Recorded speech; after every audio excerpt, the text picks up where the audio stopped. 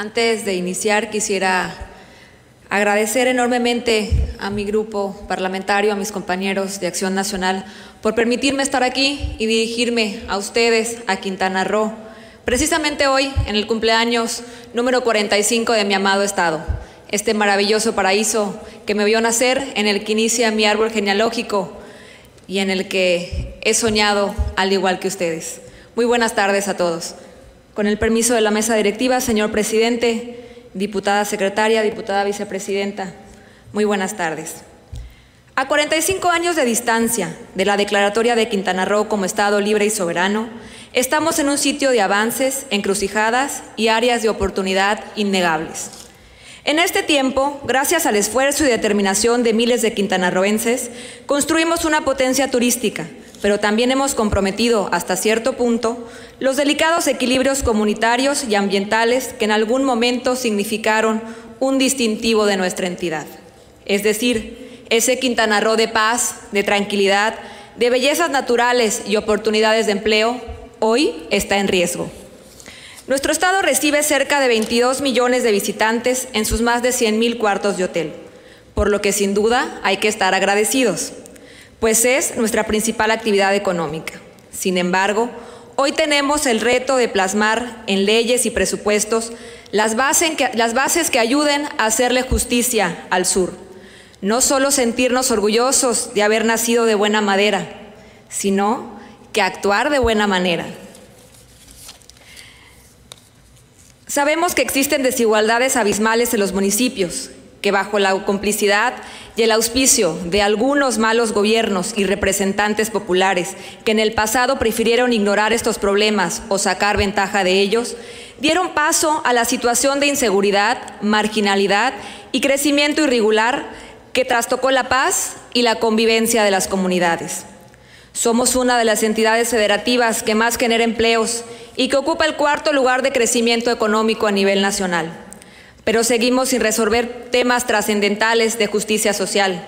Por ello, debemos pugnar por un reparto más equitativo del presupuesto nacional, porque Quintana Roo lo merece, porque somos el hogar que a diario siguen eligiendo paisanos y extranjeros para construir sus sueños y establecer a sus familias, porque los quintanarroenses necesitamos que el fruto de nuestro trabajo se vea reflejado en la seguridad de mujeres y niños, en las escuelas y en los hospitales. En estos 45 años construimos una democracia más plural, pero con un profundo problema de credibilidad y confiabilidad, del cual todos somos responsables y estamos obligados a responder.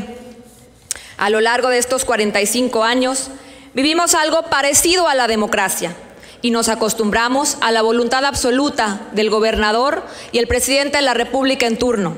Sin embargo, hoy vivimos tiempos diferentes Hoy vivimos un sistema más plural.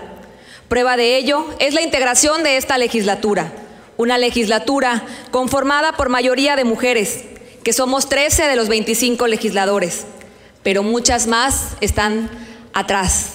Muchas más fueron las que nos llevaron hasta este lugar. A muchas más les agradecemos el poder representarles. Estoy segura que hoy Leona Vicario se siente feliz de que su lucha no fue en vano.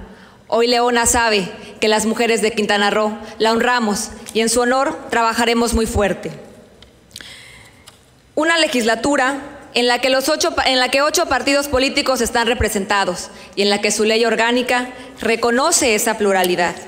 No obstante, los diputados que integramos esta legislatura y llegamos a este cargo, somos los que llegamos con, el menor porcentaje de, de votación en mucho tiempo somos parte de la crisis de credibilidad institucional que hay en todo el país y el reto es trabajar bien, muy bien, para devolverle al Poder Legislativo esa credibilidad y confianza que la ciudadanía nos demanda. Nuestro reto, compañeros, es demostrarle al pueblo de Quintana Roo que participar votando es decidir el futuro que queremos y que merecemos. La conmemoración de estos 45 años de historia debe tener como objetivo reflexionar sobre los logros y retos de nuestra entidad, pero también debe rendir un homenaje a los héroes, a los conocidos y a nuestros héroes anónimos de Quintana Roo, esos pioneros que sacrificaron todo, que hicieron de este estado su hogar y se aventuraron en la colosal tarea de construir una potencia turística prácticamente de la nada, sin olvidar a aquellos a quienes primero perteneció esta tierra, a esos que solidariamente han recibido a miles y miles de personas de todas partes del mundo con los brazos abiertos y la nobleza que nos distingue como pueblo. Nuestro reconocimiento sincero a quienes en su persona resguardan nuestro origen, nuestra cultura y orgullosamente nos recuerdan que Quintana Roo es territorio maya.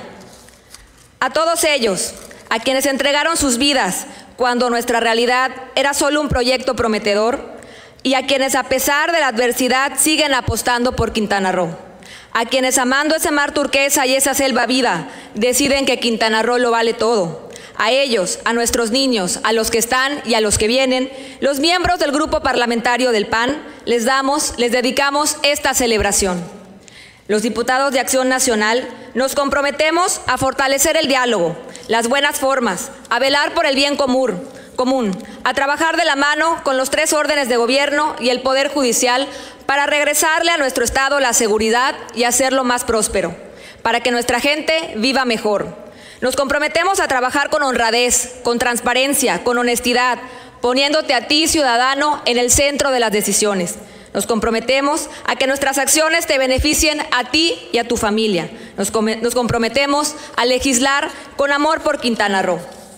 Hoy también te quiero felicitar a ti que tienes una tienda, a ti que labras en el campo, a ti que tiendes una cama en un hotel, a ti que construyes este bello Quintana Roo a ti que estás en cada rostro y en cada idioma que se habla en este bello territorio. Te felicito a ti, que eres Quintana Roo en cada una de tus acciones. Te felicito a ti, a cada niño, a cada mujer que construye esta tierra día a día. Te felicito a ti que estás aquí presente, honrando a tu Estado en esta maravillosa celebración. Una vez más, con amor por Quintana Roo y que viva Quintana Roo.